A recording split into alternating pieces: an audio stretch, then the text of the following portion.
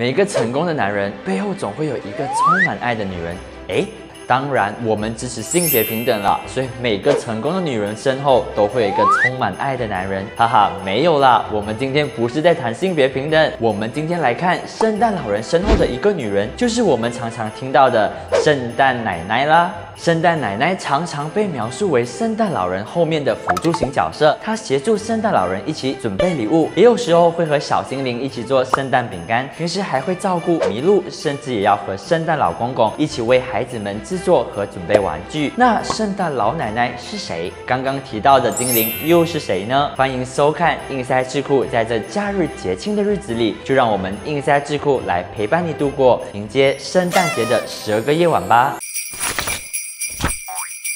圣诞老奶奶的角色是在一八四九年粉墨登场，在一部短篇故事《A Christmas Legend》里记录着，在一个寒冷的夜晚，有一户人家照顾了一个老夫和老妇，这两位老人扛着一大袋，就这样的在这户人家家里休息。第二天早上，这户人家的孩子就发现家里到处都是玩具，后来这户人家才发现，他们不是圣诞老人和老妇，而是这户人家久未联系的大女儿和她的丈夫。虽然故事扑朔迷离，但是自从一八九年起，圣诞老妇的形象就这样深深的烙印在民心。一八五一年，耶鲁文学杂志《Yale Literacy Magazine》记录着圣诞老奶奶的名字，写着圣诞老人欢喜的模样，胖胖的，看起来像是一个年老的精灵。一八六二年，著名杂志《哈珀斯杂志》则以文字和图画描述了老奶奶的时尚装扮。老奶奶穿高靴子、蓬蓬裙、帽子，吹起了当时社会的时尚嗅觉。在英文文学学。册中，圣诞小精灵老早在一八五零年出现，一八七三年曾经出现在一本各地的杂志封面，以绿色帽子、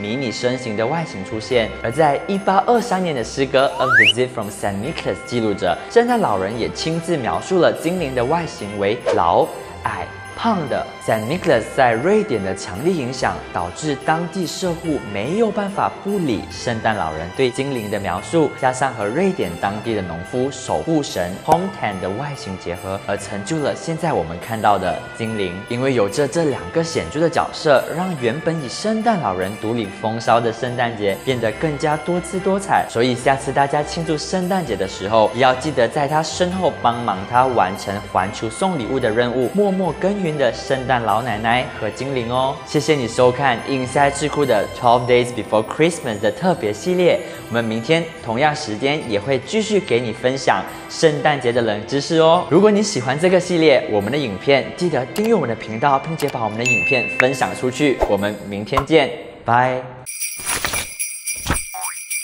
感谢你收看 Inside 智库的 Twelve Days Before Christmas，让你在这个雪花飘扬的圣诞节里学习一些圣诞冷知识。